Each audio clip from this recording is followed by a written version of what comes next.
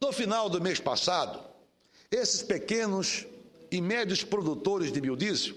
participaram de reuniões no âmbito da ANP e da própria Casa Civil do Governo Federal, em que, sensibilizados pela situação, representantes das áreas governamentais envolvidas se dispuseram a buscar, junto às instâncias jurídicas cabíveis, uma solução para o legítimo pleito, que consiste em alterar as composição dos referidos leilões, mediante participação diferenciada para as usinas de pequeno e médio porte, por meio de ato licitatório exclusivo. O uso,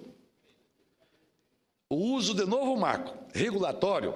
para viabilizar a pretendida mudança, muito provavelmente pressupõe alterar a legislação ordinária, razão pela qual pretendo submeter à Comissão da Agricultura requerimento propondo a convocação de uma audiência pública destinada a esclarecer o assunto e instruir eventuais proposições legislativas.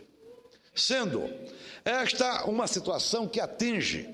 não só os pequenos e as médias indústrias do meu estado de Mato Grosso, mas que se estende a todo o país.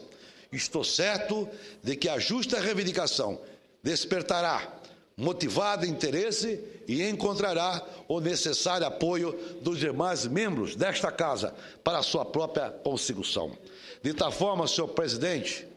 senhoras e senhores senadores, é muito importante, senador Walter Pinheiro, que Vossa Excelência, poucos dias atrás, estava nesta mesma tribuna falando deste assunto. Eu acho importante que o governo federal não prejudique, hipótese alguma, em relação aos pequenos produtores de biodiesel. Lamentavelmente, senador Antônio Carlos Valadares, quando o governo federal, o próprio presidente Lula, instituiu a política de biodiesel, sobretudo, era para incentivar os pequenos,